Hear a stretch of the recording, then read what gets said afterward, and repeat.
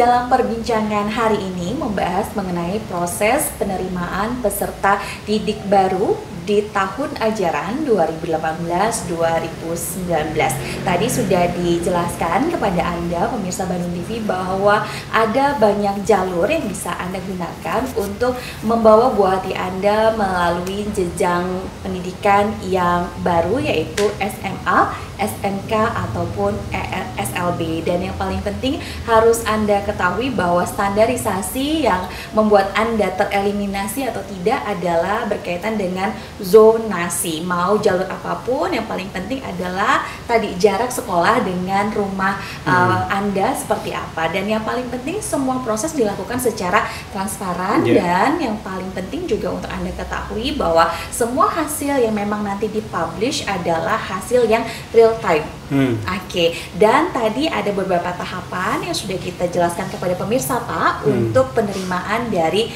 peserta didik baru tahun ajaran ini. Nah, barangkali Bapak bisa informasikan kepada pemirsa tentunya berkaitan dengan tanggal-tanggal penting hmm. untuk bisa mereka um, mengajukan berkas, mempersiapkan hmm. syarat-syaratnya dan tadi ada beberapa tahapan-tahapan ataupun jalur yang bisa mereka uh, masuki tentunya dengan syarat-syarat tertentu. Silahkan Pak.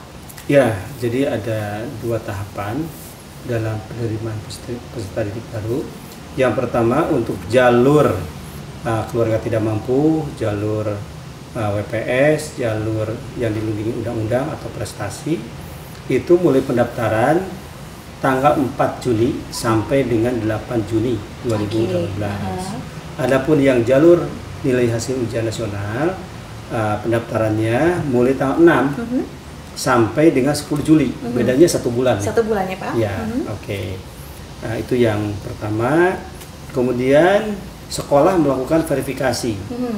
Ya, ada uji kompetensi. Oke. Okay. Nah, uh, yaitu untuk yang yang yang yang yang jalur pertama. Uh -huh uh, yang pendaftaran tanggal 4 akan dilakukan verifikasi atau uji kompetensinya mulai dari tanggal 25, 26 hmm. dan 28 Juni 2018. Kemudian akan diumumkan pada tanggal 30 Juni 2018 dan uh, calon peserta didik harus daftar ulang hmm. pada tanggal 2 sampai 4 Juli hmm. 2018. Hmm. Itu untuk yang jalur uh, tidak mampu jalur PMG, jalur WPS dan jalur prestasi. prestasi. Oke. Okay.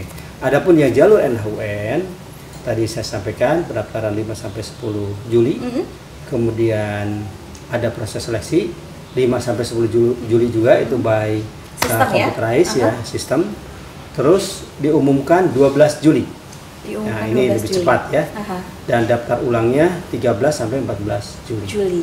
Ini jauh ya. lebih padat ya Pak ya, pergerakannya karena, karena ini by komputer. By komputer. Tapi kalau yang tadi yang jalur nah. non N uh, HUN tentunya ya. ini memiliki spare waktu yang iya, cukup. Karena harus verifikasi, uh -huh. harus ada tes kompetensi. Verifikasinya seperti apa sih Pak? Kalau ya kalau jalur kan? tidak mampu, maka hmm. sekolah wajib hukumnya untuk mengecek kondisi ah, okay. real di lapangan.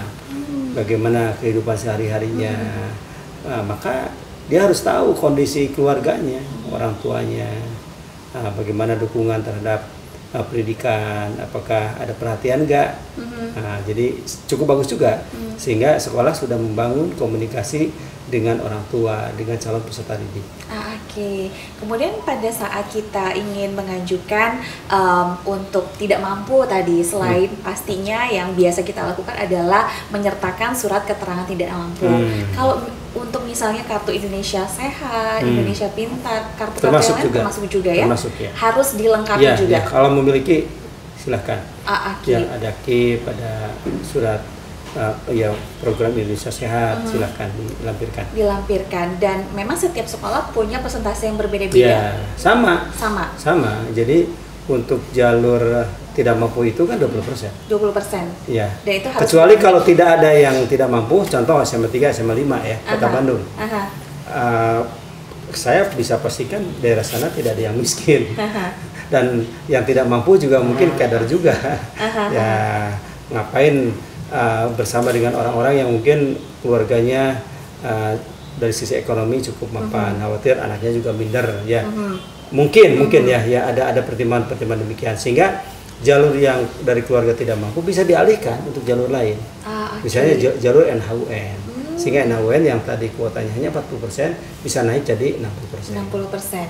Jadi memang sudah sudah terprogram semuanya Iya. setiap sekolah yang ada di Provinsi Jawa Barat harus memenuhi hal-hal tersebut. Iya. Nah, untuk yang jalur prestasi nih, Pak, kalau nilai saya dengan nilai teman saya sama, ini Ya, ada dari lokasi. di lokasi. Oh, lokasi kembali ke lagi ke lokasi. Iya, iya. Ah, oke. Siapa yang paling dekat dengan sekolah? yang paling dekat dengan sekolah? Ah, Kembali lagi ya karena tadi iya. untuk mengurai kemacetan, Iya, betul, Pak? iya sebetulnya kami ingin memeratakan kualitas. hmm. Dan yang kedua ingin agar aksesibilitas sekolah ini merata di Jawa Barat. Mm-mm. Jadi sebaran sekolah juga diharapkan ke depan Mhm. lebih merata, Lebih tidak tersentralisasi di kota. Ke depan begitu. Oke. Kalau realitas sekarang mau apa? Tapi kita bertahap nanti akan melakukan uh, penataan-penataan. Hmm. Kalau boleh tahu untuk konsep zonasi sendiri yang diterapkan oleh Provinsi Jawa Barat, Pak, ini udah tahun keberapa?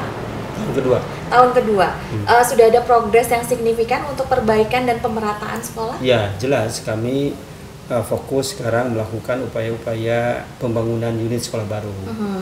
Di beberapa kecamatan yang belum ada SMA negeri, SMA negeri kami bangun. Mhm. Yang kedua, kami melakukan upaya-upaya revitalisasi uh, sekolah Mhm. dan juga uh, renov Mhm. Nah, sekolah-sekolah yang uh, apa namanya ya sudah tidak memenuhi fasilitasnya kita coba dan kebijakan kami tentu sesuai dengan arahan Bapak Presiden kita mulai dari pinggiran, Dari ke pinggiran. kota Oke. Nah, termasuk melengkapi berbagai fasilitas seperti komputer, smartboard dan lain-lain sebagainya sehingga uh, kita bisa mengikuti perkembangan sekarang era digital maka pendidikan juga harus menerapkan uh, TIK Mhm. teknologi informasi komunikasi atau ICT Mhm. nah ini insya Allah dalam pendidikan dalam rangka untuk efisiensi efektivitas dan mau tidak mau semua guru kepala sekolah harus melek IT Semuanya harus melek Iya. IT ya Pak ya, karena semua tidak bisa ditinggalkan, tidak Iya. bisa dilupakan bahwa Iya. peranan dari teknologi ini ke semua lini kehidupan Iya, masyarakat, iya, iya. termasuk pendidikan. Hmm. Dan sejauh ini pendidikan di Provinsi Jawa Barat nih Pak, kalau kita berkaca di 2016 2017 kemarin progresnya seperti apa? Karena fasilitas semakin hari semakin ditingkatkan, kemudian pemerataan juga.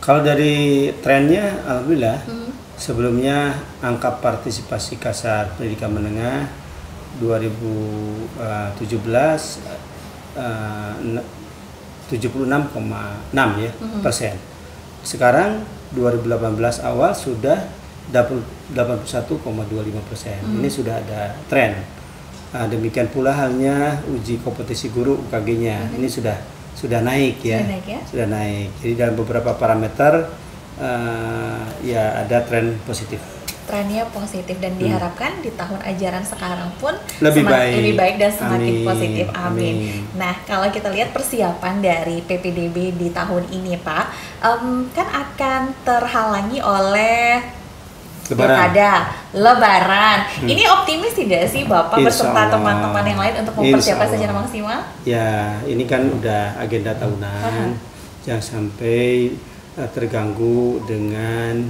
eh, libur dengan pilgub Mhm. dengan pilkada ya insya Allah kawan-kawan eh, ya sudah ditetapkan dalam kepanitiaan Mhm.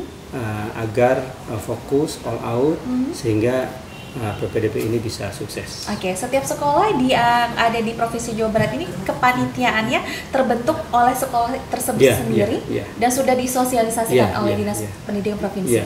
Sejauh ini tanggapan mereka ada yang memang secara persentase kapabilitas dan juga keterampilan mereka untuk eh, proses PPDB sekarang seperti apa, Pak? Uh, kami optimis karena uh, PPDB online ini sekarang tahun kedua. Mhm. Yang kedua, kami sudah menerapkan ujian UNBK 100%. Mhm. Nah, sehingga setiap sekolah sudah ada operator, sudah ada proktor uh, yang punya kemampuan Mhm. uh, dalam hal komputer dan sebagainya. Semuanya harus ya, Ya, Pak ya. harus. Harus dan disosialisasikan secara maksimal. Iya. Oke, sebentar lagi kalau kita lihat bahwa pendaftaran ini untuk jalur non akademis Hmm. sudah dibuka pada tanggal 4 Juni nanti Pak ya Hmm. sampai dengan 8 Juni. Hmm. Kemudian pemirsa ingat juga verifikasi jika buah hati Anda memang tidak menginginkan jalur NHUN ya Pak ya, Hmm. bisa langsung mendaftar ke sekolah terkait barangkali Ya, ya Pak ya, ya, yang ya, memang ya. dituju dari mulai tanggal 4 Juni sampai dengan 8 Juni dan jangan Hmm. Lupa juga verifikasinya akan dilakukan dari 25 Juni sampai dengan 28 Juni dan untuk tanggal 27 Juni libur dulu Pak ya karena pilkada Kita nyoblos. nyoblos nah Pastikan berangkat ke TPS. Oke, jangan berangkat ke sekolah karena tutup ya Pak ya. Iya. Oke, dan juga pengumumannya ini ada di 30 Juni dan kemudian daftar ulangnya berbeda dengan Hmm. eh, jalur penerimaan dari NHUN yaitu di tanggal 2 Juli dan 4 Juli. Biasanya kalau orang tua murid mendengar kata daftar ulang, Pak, Hmm. pasti itu harus siap-siap uang. Nah, Nah, ini gimana nih, Pak? PPDB tidak berbayar. PPDB tidak boleh berbayar. transaksi keuangan. Tidak boleh gratifikasi. Tidak boleh gratifikasi. Tidak boleh eh, bahasa suap menyuap. nyuap nyuap kemudian nggak boleh em, booking kursi nggak boleh Ya, tidak boleh. nggak boleh Tidak boleh. itu termasuk ke dalam larangan dan sanksinya Ya, itu termasuk dalam kasus uh, pungli. pungli Ya, sehingga nanti saber pungli bisa uh, melakukan tindakan-tindakan Mhm. sesuai dengan ketentuan hukum. Kalau ada titipan nih dari pejabat daerah para eh, pejabat yang ada di daerah setempat ini harus disikapi seperti apa oleh panitia sekolah Mengikuti prosedur. mengikuti prosedur ya Iya. kecuali kalau anaknya memang pintar ya pak ya Iya, mengikuti prosedur. ya, misalnya dia prestasi olahraga, uh, pro- prestasi seni, Mhm. apalagi pinter dalam agama. Kalau miskin nggak mungkin lah. Atau memang anak pejabat itu ke sekolah. WPS. boleh ya Ya Pak jelas, kenapa tidak boleh? Aha, ah, boleh Iya, ya, iya. Oke, yang Pak yang Ya, boleh tidak boleh diskriminasi. tidak boleh Tidak diskriminasi. diskriminasi. Jadi sekolah ini adalah untuk orang semua, Semua. iya untuk semua. Education for all. Education for all. Ini menarik Hmm. sekali pemirsa kalau setiap tahun kita berbicara mengenai PPDB ada aja semua orang yang deg-degan untuk Hmm. anaknya apalagi Bagus yang lah. Ah, Perhatian, perhatian sama anaknya. Saya senang. Oke. Iya. Dan untuk Anda yang barangkali buah hatinya mengikuti jalur nilai ujian Iya. uh, nasional, ini ada yang harus dicatat oleh Anda pemirsa bahwa pendaftaran akan dibuka pada bulan Juli yaitu di tanggal 5 Juli sampai dengan 10 Juli. Nanti akan ada seleksi administrasi barangkali ya, Hmm, Pak. iya. Kemudian ini akan dilakukan dari tanggal uh, 5 Juli sampai 10 Juli juga. Iya, iya. Kemudian ada pengumumannya dua hari setelah pendaftaran dan juga seleksi di tanggal 12 Juli. Kemudian daftar ulangnya di tanggal 13 Juli dan 14 Juli. Masuk sekolahnya ini Pak di tahun ajaran 2018-2019 di tanggal 16 Juli. Betul. 2018. Jadi ini Hmm. cukup uh, singkat Hmm. untuk persiapannya dan Hmm. pada saat tanggal 16 ini langsung dilakukan kegiatan MPLS Iya. mengenal uh, lingkungan sekolah. Lingkungan sekolah. Hmm, luar biasa padat untuk uh, Iya. agenda dari PPDB tahun ini. Dan Bapak kalau kita lihat padatnya ini Hmm. uh, dan dengan dibedakan dua agenda, Hmm. dua waktu untuk yang non akademis dan juga pendaftaran Hmm. uh, berdasarkan non non-NHUN. akademis NHUN, tentunya ini uh, membutuhkan kerja yang luar biasa, Mhm. effort yang beda dari biasanya. Mhm. Tahun ini apakah memang dirancang untuk em, semua hal yang dikerjakan ekstra cepat Eh, saya kira sesuai dengan jadwal. sesuai dengan jadwal? Sesuai dengan jadwal dan ini tiap tahun demikian Mhm. eh, ritmenya. Aha. Saya kira eh, untuk para orang tua yang punya putra putri yang akan melanjutkan sekolah, memang harus prioritas, harus fokus. Kalau main kan bisa waktu lain lah. Jadi sekarang p- eh, lebih baik perhatian untuk putra putrinya sehingga dipastikan anak-anak bapak ibu bisa melanjutkan sekolah. bisa melanjutkan sekolah. Bisa Pak kita ulang lagi informasi berkaitan dengan PPDB di tahun ini adalah dengan adanya beberapa jalur yang memang Mhm. dibuka oleh Dinas Pendidikan Provinsi Jawa Barat. Ya, jadi eh, para pemirsa yang budiman, eh, kami mengembangkan PPDB, spiritnya adalah agar putra putri Jawa Barat ini bisa sekolah. Uh, maka kami membuka berbagai jalur termasuk jalur nilai hasil ujian nasional dan jalur non uh, hasil ujian nasional. Untuk non hasil ujian nasional ini kami dahulukan yaitu mulai tanggal 4 uh, Juni untuk pendaftaran dan semua itu akan kami lakukan verifikasi, akan lakukan tes uh, untuk menguji kebenaran dan mana yang lebih prioritas bisa masuk ke sekolah. Mm. Dan pastikan setelah itu uh, kalau tidak diterima oleh jalur tadi boleh kalau nilainya bagus uh, di uh, NHUN karena waktunya juga berbeda. Oh, iya. Untuk NHUN ini bisa dua pilihan, pilihan sekolah pertama dan pilihan kedua. Tapi untuk jalur yang non NHUN hanya satu hanya pilihan satu sekolah. Pilihan. Kemudian yang kedua itu untuk SMA. Mm -hmm. Untuk SMK kami tidak menggunakan jonasi.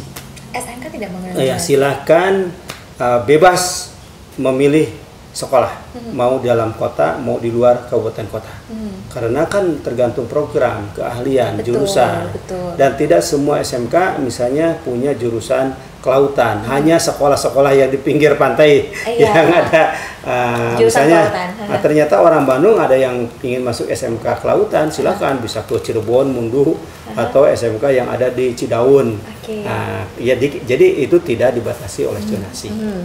Kalau misalnya untuk luar Jawa Barat, mm -hmm. misalnya DKI, Banten atau Jawa Tengah, uh, kami hanya menerima 10% saja. 10% Dan saja. pastikan apakah mau jalur NHUN atau jalur uh, non NHUN dalam hal ini adalah jalur prestasi. Masing-masing lima persen lima persen. Lima persen lima persen. Untuk SLB sendiri pak? SLB uh, sesungguhnya untuk SLB uh, kami sangat welcome. Insya Allah ya? kami akan uh, menerima anak-anak yang disabilitas mm -hmm. untuk sekolah. Untuk sekolah. Kami sudah menyiapkan ada sekolah negeri dan sekolah swasta. Biar anak-anak yang disabilitas ini punya kemandirian, punya harapan uh, dan uh, punya kemampuan, mm -hmm. sehingga ke depan tidak merepotkan yang lain. Oke, dan memiliki percayaan diri Percaya yang tinggi, diri yang tinggi. paling penting. Yeah. Oke, karena tadi bapak bilang bahwa education hmm. for is for yeah. all ya. Ya, yeah, hmm. education for all. Oke, luar biasa pemirsa dan nanti kita akan berbincang lagi berkaitan dengan apa yang menjadi tantangan terbesar bagi Dinas Provinsi Jawa Barat di tahun ini untuk memberikan pelayanan terbaik bagi Anda yang akan mengakses dua jalur penerimaan peserta didik baru tentunya di tahun ajaran 2018-2019. Semoga Anda masih terus menyimak perbincangan saya dengan Bapak Ahmad selaku Kepala Dinas Pendidikan Provinsi Jawa Barat. Sesaat lagi kami segera kembali.